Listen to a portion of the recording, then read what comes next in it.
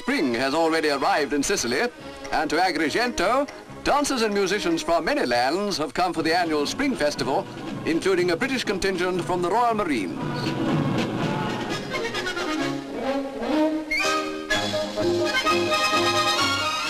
Some of the visitors come from mountain villages which are still buried deep in snow to perform in this sun-drenched Mediterranean town.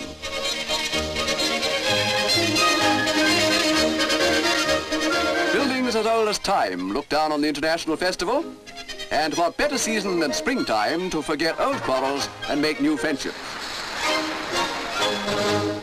But the spring has brought havoc to Scaletta, 100 miles away on the island's eastern coast. A landslide has sent huge boulders crashing through homes and fields, destroying almost the whole of the village. Scaletta was built on a headland, most of which, owing to coastal erosion, is slipping into the sea.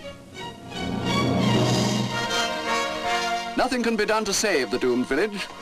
The people of Scaletta must abandon the homes and rich olive groves where their ancestors have lived and worked for countless generations.